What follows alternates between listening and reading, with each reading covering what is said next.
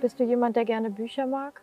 Oder schaust du lieber Filme? Oder hast du früher mal Geschichten vorgelesen bekommen, vielleicht von deiner Mama oder von deiner Oma? Ich habe immer Geschichten vorgelesen bekommen.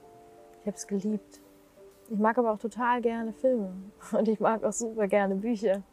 Und ich war so jemand, ich habe es geliebt, mich mit Mythologie zu beschäftigen, also mit sehr alten Überlieferungen, mit Geschichte, wie es früher war, zum Beispiel in Ägypten. Oh, ich fand es so spannend zu ergründen, was die Pharaonen damals in ihren Pyramiden mit ihrer Sprache, mit ihren Zeichen, mit, mit dem, was sie damals erlebt haben, dass sie das festgehalten haben und wir später das aber nicht mehr wirklich verstanden haben, weil das, wir haben es versucht zu verstehen. Auch es gibt so viele Ausgrabungen, Forschungen. Es gibt scheinbar irgendetwas auf der Welt, das die ganze Zeit überliefert wird. So von der einen Generation in die andere Generation und dann wieder weiter und wieder weiter und irgendwie erzählen wir einander immer wieder irgendwas, Geschichten, Sagen, Filme, Bücher. Das ist ein eigentlich die ganze Zeit Austausch miteinander über sämtliche unterschiedliche Medien. Und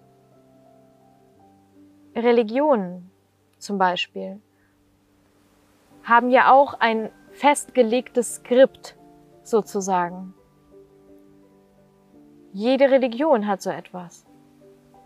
Etwas, was für alle gilt, was allen dient in einer bestimmten Art und Weise, um, um eine Art Verständnis, eine Klarheit zu haben, um auch eine Dazugehörigkeit zu haben, um, um sich zu definieren. Und ich hatte für mich in meinem Leben so, ich war jetzt lange im Film, also beziehungsweise in dieser Filmbranche, war auch vorher in anderen Branchen, aber Filme haben mich ganz besonders intensiv lange Zeit beschäftigt. Und das ist etwas, da glaube ich, hat jeder von uns schon mal einen Film gesehen. Und aktuell ist es so, da laufen zum Beispiel Blockbuster im Kino wie auch unter anderem Der König der Löwen, die Neuverfilmung. Und das ist etwas, das gab's schon mal, diese Geschichte, und die wurde jetzt einfach nochmal gefilmt. Genauso wie viele andere Geschichten, die es schon mal gab, aber die nochmal aufgearbeitet wurden, so aufbereitet, in einer anderen Art und Weise, so verändert mit Kleinigkeiten. Aber an sich gab es irgendwo schon mal einen Ursprung. Und ich habe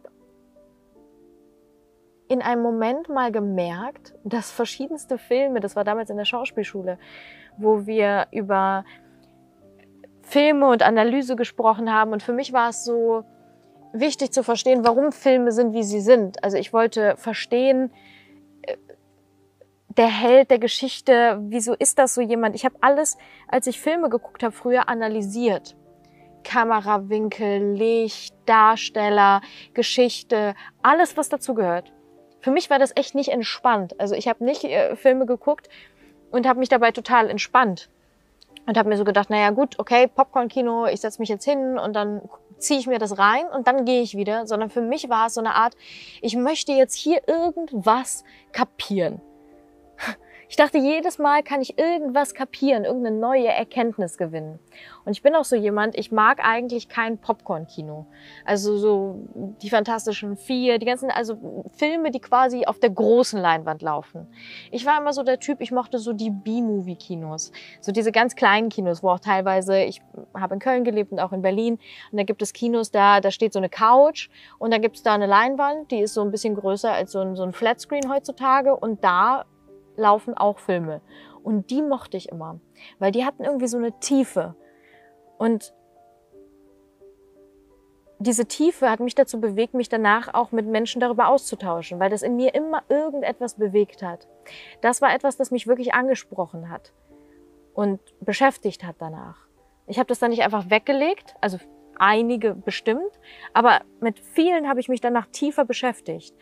Ich war auch oft jemand, der alleine ins Kino gegangen ist. Ich war nicht im Kino, um unterhalten zu werden, sondern um zu verstehen, um zu lernen, Für mich war jeder Film eine Möglichkeit, etwas Neues zu lernen. Und manchmal war auch so eine Einsamkeit da, weil ich habe zum Beispiel über einem Kino damals gewohnt und dann ähm, bin ich, also ich habe alle Filme gesehen, die dort liefen. Das war für mich immer so ein, okay, ich habe jetzt mal kurz ein paar Stunden, zwei Stunden Zeit oder so, ich gehe ins Kino und gucke mir irgendeinen Film an. Weil ich ergründe und verstehe wieder was Neues. Und ich habe die alle durchgeguckt und teilweise konnte ich mich nicht wirklich auch mit Leuten drüber unterhalten, die es natürlich nicht gesehen haben. Und es gab so diesen Moment, wo ich darüber nachgedacht habe, warum mich manche Filme richtig ansprechen und andere nicht. Und irgendwo habe ich auch einen Zusammenhang erkannt zwischen verschiedensten Geschichten. Manchmal so Momente, wo es wie so ein Aha-Moment war. Vielleicht kennst du das auch, wo du dachtest, okay, krass. Es musste jetzt gar nicht bezogen auf einen Film sein oder so, sondern in deinem Leben, wo du, wo du gemerkt hast, jetzt hab ich was kapiert. Jetzt ist irgendwas neu. Jetzt ist gerade so ein, so ein, da ist was passiert und du hast noch keine Ahnung was oder was das für eine Auswirkung hat, aber du weißt, es ist jetzt gerade irgendwas komplett krass Neues passiert in deinem Leben. Und ich hatte diese Momente öfter. Und in dem Moment, wo mir so eine Erkenntnis gekommen ist darüber, dass da eine Struktur dahinter liegt. Eine Struktur, die unter den Filmen liegt. Das heißt, die Menschen, die diese Drehbücher schreiben, und ich habe vorher ja auch schon beim Film gearbeitet, das heißt, ich wusste, wie Filme aufgebaut sind. Ich habe nicht nur Schauspielerei studiert, sondern ich war vorher auch noch in einer großen Produktionsfirma. Das heißt, ich weiß von Beginn an, wie solche Dinge entstehen und dass es dort auch Drehbuchautoren gab. Und ich fand es super spannend zu wissen, wie solche Bücher aufgeschrieben werden. Ich habe auch schon selber Bücher geschrieben. Und all das hat eine Struktur und zwar von Vogler. Vogler hat damals bei ähm, 10th Century Fox, nein, wie heißt das? Wie? 21 Century. Und Vogler hat damals bei 21 Century Fox gearbeitet und der hat eben diese Struktur dort als Storytelling angebracht. Das bedeutet, es gibt eine Struktur, nach der die meisten Filme, und zwar vor allen Dingen Popcorn-Kino funktionieren und ich habe dann angefangen, das zu ergründen. Ich habe da jeden Film nochmal auseinandergenommen und habe das analysiert. Und das macht Sinn. Und es hat auch einen Grund, warum das Sinn macht. Denn es ist jedes Mal eine Heldenreise. Eine Reise eines Helden, der dich und mich als Zuschauer mit auf seine eigene Reise nimmt. Und du als Rezipient sitzt dort und guckst dem bei seiner Reise zu und lernst im besten Fall etwas. Und das habe ich zum Beispiel geliebt. Ich habe es geliebt, dort zu sitzen, dem zuzugucken und von ihm zu lernen. Von dem Helden oder der Heldin auf dieser Reise. Und Filme sind ja nichts anderes als Realität.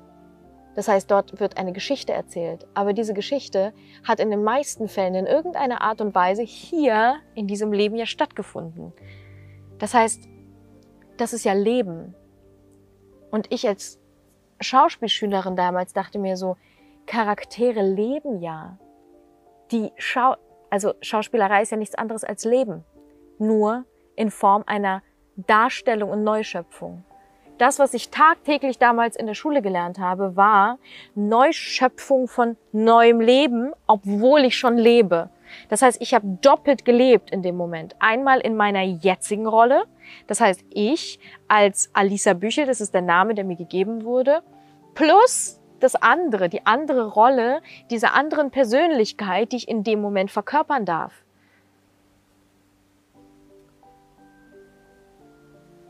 Und zwar auf einer anderen Bühne des Lebens. Das heißt, man hat in der Schauspielerei einfach Parallelwelten erschaffen. Und ich durfte aber in beiden Welten leben, weil sonst kann ich ja nicht hier sein. Das bedeutet, mich ja auch hier real leben. Und genauso auch in dieser Parallelwelt, in der ich jetzt aber gerade bin. Und wenn ich das nicht tue, wenn ich quasi nicht hier bin, in dieser Rolle, weil ich in dem Moment die Entscheidung getroffen habe, ich möchte jetzt diese Rolle spielen, dann kann ich das gar nicht sein. Wenn ich mit meinen Gedanken bei Alisa bin, die jetzt gerade vielleicht eine Einkaufsliste schreibt oder irgendwelche Probleme private hat, dann kann ich ja gar nicht in meiner Rolle sein. Weil ich bin ja da. Weil ich bin ja da. Und zu verstehen, dass entweder oder nur funktioniert und ich nicht in beidem gleichzeitig sein kann, das durfte ich auf harte Art und Weise lernen, weil das, was ich gemacht habe, das hat sich A für mich kacke angefühlt und B habe ich es mir selber nicht geglaubt. Und wenn ich es mir schon nicht glaube, wer soll es mir denn dann glauben, wenn mir jemand zuguckt bei dem, was ich da tue? Das heißt, es kann ja gar keiner was von mir lernen, wenn ich nicht in diesem Moment bin.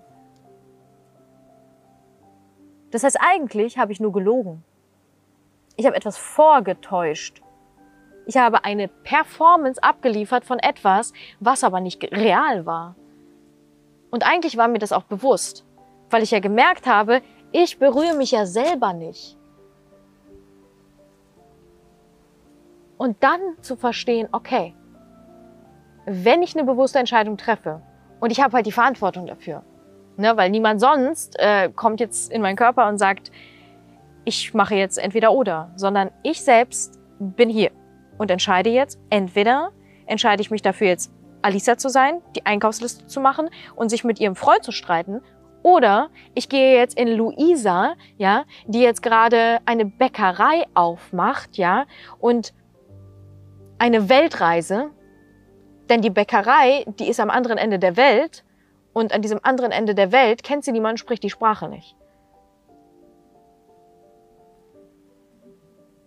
Und wenn ich mich dann dafür entscheide, diese Bäckerei am anderen Ende der Welt aufzumachen und eine neue Sprache zu lernen, beziehungsweise mich mit diesem neuen Umfeld zu verbinden und dorthin zu gehen, was ich ja als Alisa noch nie gemacht habe. Aber Luisa hat das gemacht. Dann gehe ich da rein und zwar voll und zwar 100 Prozent. Mit allem, was ich habe. Weil ich habe ja nur das. Und ich möchte ihr aus purer Dankbarkeit, dass ich das jetzt gerade fühlen darf, all mein Sein schenken, damit ich diese Rolle erfüllen kann.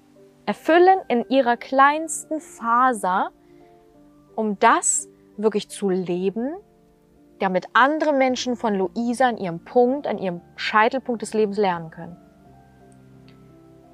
Denn auch sie ist auf ihrer Reise. Genauso wie ich. Aber ein Schauspieler ist nichts anderes als jemand, der sich aus seinem eigenen Moment rausholt und in einen neuen Moment reingeht. Für den Moment, wo er aber da reingeht, kann er da nicht drin sein. Und das ist etwas, was viele Menschen, viele Schauspieler nicht verstehen, aber vor allen Dingen nicht fühlen. Weil sie die ganze Zeit in einem Spagat sind. Und der Rezipient spürt das. Und ja, ist das nicht leicht?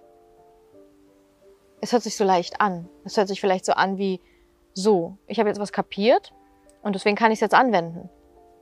Aber so ist es nicht. Wenn wir Dinge verstehen, dann dürfen wir üben auf dieser Reise, auf der wir sind, um dahin zu kommen, was wir uns vorstellen zu wollen. Erstmal habe ich ein Bedürfnis. Und wenn ich mir dieses Bedürfnis erfüllen möchte, dann darf ich mir die Erlaubnis geben, loszugehen. Und auf diesem Weg, mir mein Bedürfnis zu erfüllen, werden mir Dinge begegnen, die kann ich vorher in den meisten Fällen nicht planen. Und das ist das Leben. Das heißt, wenn ich mich dorthin begebe, weiß ich schon, dass da eine Ungewissheit sein wird. Dass mich da Sachen erwarten, die ich vielleicht noch nie gesehen oder gefühlt oder gemeistert habe. Und im ersten Moment löst das mit höchster Wahrscheinlichkeit Stress und Angst aus. Denn Stress ist nichts anderes als Angst. Angst ist Unwissenheit. Wenn ich etwas nicht weiß oder glaube, etwas nicht zu wissen, gebe ich quasi die Kontrolle ab. Und das macht mir Angst, weil ich möchte gerne kontrollieren. Ich möchte gerne wissen, was ich da tue. Ich möchte wissen, was passiert. Ich möchte Sicherheit. Ich möchte überleben. Weil ich denke, ich bin hier, um zu überleben. Und wenn wir uns umschauen in unserer heutigen Gesellschaft, dann sind viele Menschen und ich zähle mich zu 100 Prozent dazu. Da, wo ich herkomme, da war ich genau in diesem Punkt. Sonst könnte ich all das, was ich dir heute gerade genau hier sagen darf, niemals sagen. Ich habe mir so sehr gewünscht, mich gut zu fühlen, dazu zu gehören und Sicherheit zu haben. Und mit gut zu fühlen meine ich vor allen Dingen auch geliebt zu werden.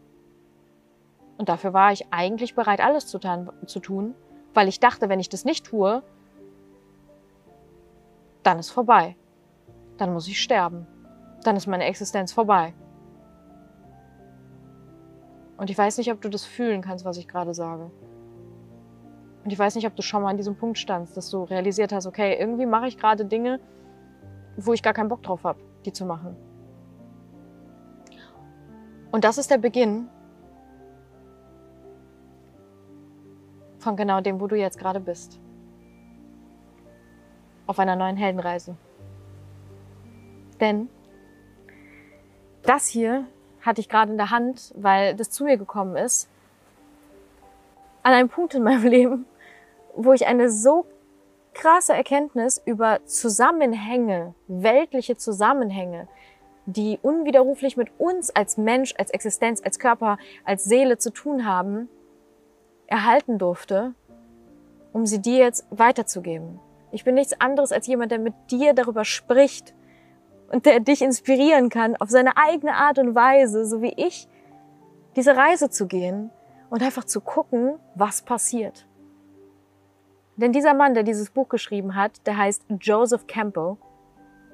Und in diesem Buch geht es darum, dass es quasi wie eine Erklärung, eine Deutung von sämtlichen Mysterien, Mystiken, Religionen, Geschichten, die auf dieser Welt erzählt wurden. Unter anderem natürlich auch Filme. Das heißt, das hier ist der Ursprung von Vogler Storytelling. Der Mann, der mich damals, als ich beim Film war, dahin bewegt hat, Filme zu analysieren und zu verstehen, dass all das nach einem Muster passiert. Und es gibt quasi nicht nur ein Muster für Filme, sondern scheinbar ein Muster, das schon so alt ist, dass die Menschen früher dieses Muster kannten. Denn sie haben es überliefert auf ihrer eigenen Sprache. Denn auch sie waren Geschichtenerzähler auf ihre eigene Art und Weise. Und auch ich darf heute Geschichtenerzähler sein. Und vielleicht bist du bald ein Geschichtenerzähler. Vielleicht bist du auch heute schon ein Geschichtenerzähler. Eigentlich sind wir immer Geschichtenerzähler. Nur manchmal trauen wir uns nicht oder manchmal denken wir, ich habe doch gar keine Geschichte zu erzählen. Was soll ich denn erzählen? Ich habe ja gar nichts erlebt. Andere Menschen haben viel mehr erlebt als ich. Was soll ich denn erzählen? Und genau deshalb möchte ich dich einladen, auf deine eigene Heldenreise zu gehen und Dinge zu entdecken, die, die ich einfach nicht in Worte fassen kann, weil sich das nicht erzählen und erklären lässt, sondern nur fühlen.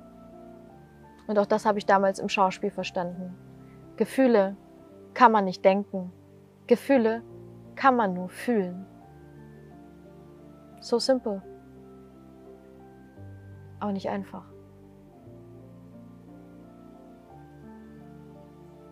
Und manchmal verbunden mit Schmerz, weil Schmerz auch etwas Wunderschönes hat. Auch Schmerz hat eine sehr reinigende Seite, eine sehr heilende Seite.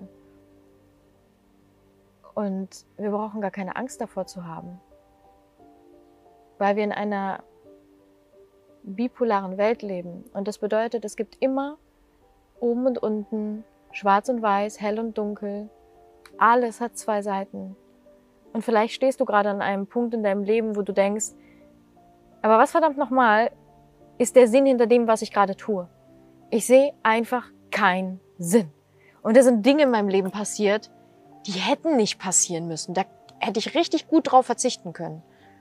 Mit Sicherheit. Ich hatte auch all diese Dinge, wo ich gesagt habe, hey, gut, danke dafür, dass ich das erleben durfte, aber würde ich jetzt auch nicht jedem wünschen. Ich glaube, so geht es uns allen. Und ich weiß, es ist eigentlich ganz unabhängig von all dem, was ich dir sage.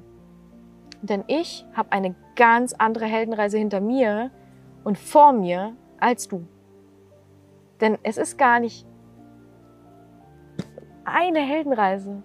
Hier steht ja gar nicht eine Reise. Und wenn ich es lese, dann verstehe ich mich oder die Welt, sondern ich darf das machen.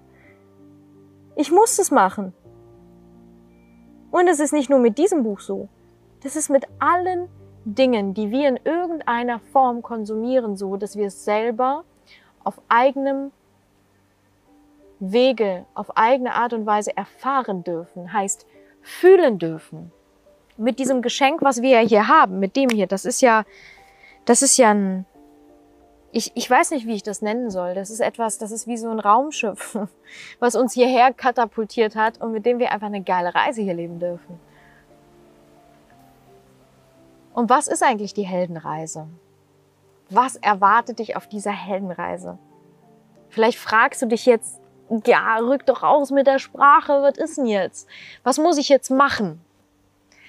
Und dieses, was muss ich jetzt machen, um ist der erste Punkt, an dem ich dir sagen möchte, es geht nicht darum, dass du dir denkst, ich muss jetzt das hier machen, dieses Programm hier, und dann habe ich das hier, was ich mir wünsche.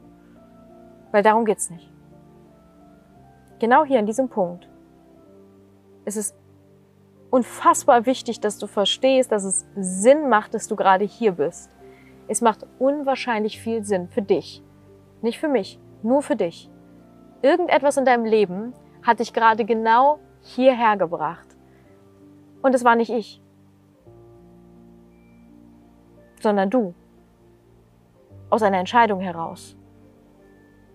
Weil du einen Ruf gehört hast. Du hast etwas gehört in dir, was dich jetzt gerade genau hier vor diesem Bildschirm gebracht hat. Dich hat weder irgendjemand gezwungen, noch du bist hier, weil das einen Sinn für dich macht. Und du wirst für dich eine Erkenntnis gewinnen dürfen und etwas für dich lernen dürfen, was du nur für dich erfahren kannst. Und ich habe keine Ahnung, was es sein wird. Ich weiß es nicht. Das Einzige, was ich gerne machen möchte, was für mich ein Riesengeschenk darstellt, wofür ich dir unfassbar dankbar bin, ist, dass du das Vertrauen hast zu mir, der Mensch jetzt gerade in deinem Leben zu sein, der dich dabei begleiten darf.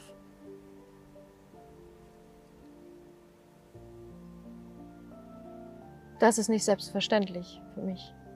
Und dafür möchte ich Danke sagen. Und du auf dieser Reise wirst wunderschöne Dinge erleben. Und manchmal sogar oft, bei mir war es immer, habe ich Dinge erst verstanden, nachdem ich sie gemacht habe. Während ich Dinge gemacht habe, haben die oft für mich gar keinen Sinn ergeben. Ich wusste manchmal gar nicht, warum mache ich jetzt das, was ich mache. Aber in mir, und da habe ich auch ein Video zu aufgenommen, wenn dich das interessiert, dann schaust dir sehr, sehr gerne an. Da habe ich über meine Reise, über meine eigene Heldenreise gesprochen. Und oft habe ich in mir einen Ruf verspürt. Richtig oft. Und ich hatte keinen Plan, warum ich das mache. Ich hatte keinen Plan und ich wusste überhaupt nicht, wo es herkommt, weil ich habe zwar nach Zusammenhängen gesucht, aber irgendwann habe ich danach, ich habe einfach aufgegeben, weil ich dachte, es fühlt sich zu eine Milliarde Prozent gerade richtig an. Ich weiß nicht warum, aber in mir ist so dieses, wenn du es nicht tust, dann fühlt sich das gar nicht gut an. Und das wusste ich und deswegen habe ich dann gemacht. Ich habe quasi brav meiner inneren Weisheit gegenüber genickt und habe gesagt, okay, du wirst schon wissen, was du da tust. Wir machen das mal. Und das war ein großes Geschenk, was ich mir selber gemacht habe, denn ich habe früh dieser Stimme da drin vertraut. Aber der positiven Stimme, die mich an die Hand genommen hat. Und nicht der, der Quatschkopfstimme, der Du bist nicht gut genug, du kannst das nicht, warum machst du das? Was bringt das überhaupt? Die ist auch immer da. Die ist auch heute noch immer da. Die wird auch wahrscheinlich immer da sein. Und es geht auch gar nicht darum, dass ich sage, hey, du bist schlecht oder verkehrt oder ich will dich nicht mehr oder sonst irgendwas. Desto mehr ich mit mir in einer Freundschaft bin und mit meiner inneren Stimme verbunden, in einer so innigen Connection, dass wir ohne einander gar nicht existieren würden. Und ich weiß ja, dass wir ohne einander gar nicht existieren würden. Das heißt, solange ich hier existiere, weiß ich, die ist genau da, wo ich auch bin. Die ist bei mir. Und zwar immer. Und das ist ein ziemlich schönes Gefühl. Und die Quatschkopfstimme, die kommt und geht. Das ist so eine, ich weiß ob jetzt gerade etwas besser als du Stimme. Und was passiert mit Menschen, die meinen, dass sie etwas besser wissen? Also meistens ist es so, dass diese Leute gerne etwas sagen und äußern möchten. Und darauf werden wir in diesem Programm nochmal in der Tiefe eingehen. Und die darf gehört werden. Aber die Stimme, die letztendlich entscheidet, das ist die helle Stimme. Denn die ist viel, viel lauter, wenn du sie mal wirklich rufen lässt. Aber die hat dich auch hierher gebracht, nicht die andere Stimme. Das heißt, das hier ist der erste Beweis für dich, dass du diese Stimme hast. Und damit will ich dich herzlich willkommen heißen auf deiner eigenen Heldenreise. Und du darfst jetzt an diesem Punkt unfassbar stolz auf dich sein. Denn das ist ein Riesenschritt, den du jetzt gerade gegangen bist. Ein Riesenschritt. Der wunderschön ist.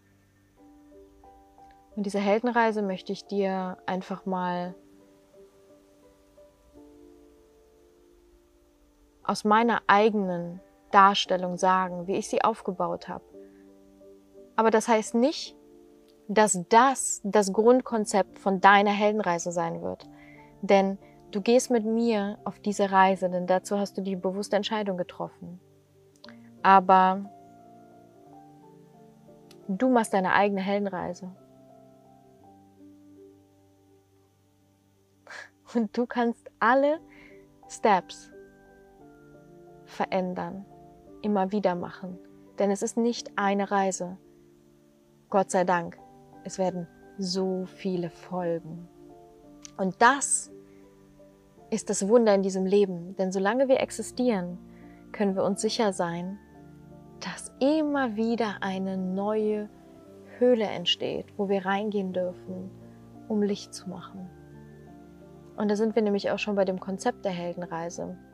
Denn dieses Konzept, was sich eben anlehnt an all die alten Mythen, Sagen, Religionen, Schriften, das ist auch ein Teil unseres Konzeptes. Aber auf eine neue Art und Weise, so wie ich sie erfahren durfte. Und deshalb werde ich dir das so mit auf deinen Weg geben. Wie eine Art kleine Landkarte, wie so ein kleiner Kompass, wo du gucken kannst, okay, wo stehe ich gerade, wo kann ich mich gerade einordnen. Und Aktuell bist du nach deiner Pre-Journey an dem Punkt, dass du sagst, wow, okay, es gab diesen Ruf, deswegen bin ich hier. Und scheinbar macht es einen Sinn, dass ich hier bin. Das heißt, ich darf auch Danke sagen zu mir selbst, dass ich den ersten Step schon mal gegangen bin. Genauso wie jeder Held. In jeder Geschichte. Und weißt du was? Auch du hast schon so viele Heldenreisen hinter dir. Und den ersten Step, den durftest du schon lange, lange nehmen. Denn jeder von uns ist schon bereits ein Held. Wir wissen es oft nur gar nicht. Denn der Moment, als du hier auf diese Erde kamst, der Moment deiner Geburt, als du durch diesen engen Geburtskanal gepresst wurdest, das war schmerzhaft, nicht nur für dich, sondern wahrscheinlich auch für deine Mutter. Und ihr seid gemeinsam in diesen Moment hineingegangen, in Verbundenheit. Alleine das hat dir gezeigt, du bist niemals allein. Auch in schmerzhaften Momenten. Und auch nicht, wenn du in deine nächste Höhle reingehst. Du bist nie alleine. Und du hast schon einiges in deinem Leben bewältigt. Du bist schon ein Held oder eine Heldin. Jetzt und für immer. Und all das, was jetzt kommen wird, in dem Moment, wo du dir ein Versprechen gibst, wo du sagst, mit meinem Fingerabdruck, den ich hier tragen darf, mit dieser Individualität hier auf dieser Erde, das ist das Einzige, was dich quasi jetzt gerade, natürlich noch viele andere Sachen, unterscheidet von so vielen anderen Menschen. Das ist deine Personal ID. Das ist so das, wie so ein kleiner Scan, um zu sagen, hey, hier bin ich. Und nur das Versprechen kannst du dir und deinem Herzen geben, indem du sagst, let's go. Jetzt gehe ich los. Nächste Runde. Und dann kommt die erste Schwelle. Und in dem Moment, durch deine Entscheidung, diesem Ruf zu folgen, durch deine Entscheidung zu gucken, was in dieser Ungewissheit auf dich wartet, hast du schon einen enormen Durchbruch gemacht. Denn jetzt geht's richtig los. Und da geht's um deinen Mut. Da geht's darum, dass du Mut aufbaust, dass du schaust, wie schaffe ich es, mich so zu stärken, dass ich diesen Berg erklimmen kann. Da wartet nämlich ein Berg auf dich. Du bist gerade auf deiner Reise und du möchtest gerne diesen Gipfel auch besteigen. Was brauchst du dafür alles? Unter anderem Mut. Vielleicht hast du Höhenangst. Ich weiß es nicht. Ich hatte richtig Höhenangst früher. Aber hallo. Ich stand in New York, dem Empire State Building, und da war diese Glasscheibe und unter der Glasscheibe war nichts. Und dann habe ich mich auf diese Glasscheibe gesetzt und habe darunter geguckt. Und das war echt hart für mich. Und all die anderen Ängste. Und all das, was dort auf dich wartet, zu besiegen in einem positiven Sinne, nicht indem du kämpfst, weil du jemanden oder etwas bekämpfen möchtest, sondern weil du voller Liebe anerkennst, dass da etwas ist, was dir die Möglichkeit für Wachstum bietet. Und durch diesen Mut erfährst du etwas, was mit deinem Ego zu tun hat und was Ego eigentlich ist und bedeutet, um dann in deinen wahren Selbstwert zu kommen um dann wirklich zu verstehen, inwiefern du es wert bist, mit deiner Existenz hier zu sein. Und du schaust in diese Höhle rein. Du schaust da rein, konfrontierst dich selbst mit dieser Tiefe, mit deinen Wurzeln, mit deiner Vergangenheit, mit deiner Kindheit, mit all dem, was in deinem Rucksack ist, bis hierher schon, was dir vielleicht diesen Anstieg wirklich erschwert hat. Und das Ding lässt du los. Du lässt diesen schweren Rucksack in dieser Höhle. Du verstehst Dinge, die haben dich vielleicht lange begleiten dürfen. Und triffst Entscheidungen für dein Leben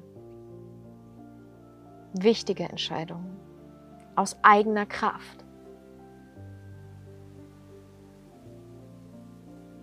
Und du erhältst etwas, und zwar ein Elixier. Und dieses Elixier kannst du jederzeit zu dir nehmen. Das ist wie so ein Zaubertrank. Was auch immer ist. Wenn du dich schwach fühlst, an einem Punkt in deinem Leben, wo du vielleicht in alte Muster zurückverfällst oder wo du dir nicht vertraust, wo du Einsamkeit verspürst, wo du Ängste hast, wo du, wo du denkst, ich kann nicht mehr, hast du automatisch einen Powertrank dabei, wo du weißt, das ist ein gesundes Red Bull und das ist ziemlich nachhaltig und ich kann jederzeit an dieser Flasche nippen. Die ist immer da. Ab jetzt ist die immer da. keine Sorgen mehr, dass du nochmal in diese Muster zurückverfällst. Brauchst du dir nicht machen. Wenn du die Entscheidung triffst, an dieser Flasche zu trinken, von diesem Trank, der da drin ist, dann hast du magische Kräfte.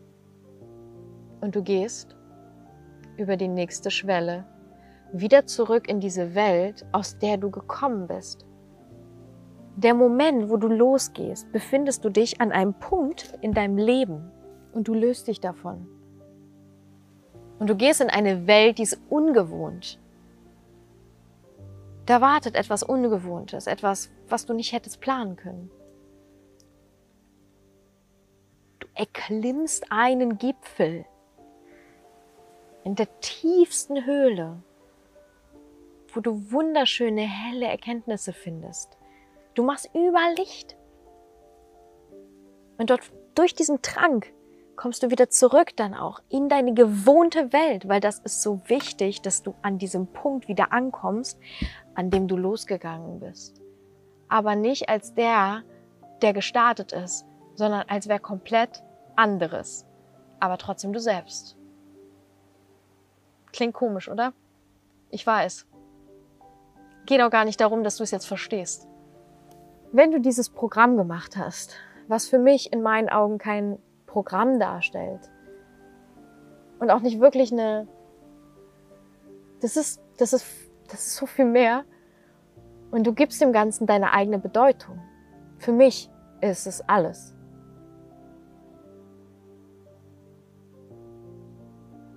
Und das heißt nicht, dass du, wenn du mal das Gefühl haben solltest, mache ich das gerade richtig? Bin ich da jetzt? Bin ich da jetzt richtig? Ist das jetzt die Erkenntnis? Ist das jetzt die Höhle? Ist das die Angst? Ja. All das ist es genau richtig, genauso wie es ist. Und es gibt kein richtig und kein falsch. Das ist deine Heldenreise. Genau so, wie du sie beschreitest. Und sie ist perfekt in ihrer Zusammensetzung und in ihrer Art. Mach dir keine Sorgen. Du bist genauso weit wie alle anderen auf deiner eigenen Reise. Und es gibt kein so fühlt sich das an, sondern das gibt es nur für dich. Und wenn du es annimmst und sagst, ja,